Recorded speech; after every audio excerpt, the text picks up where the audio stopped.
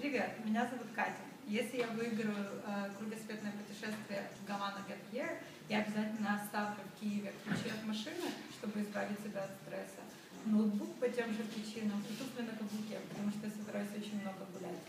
А из того, что я возьму с собой, это обязательно iPhone, чтобы делиться впечатлениями, которые я очень люблю.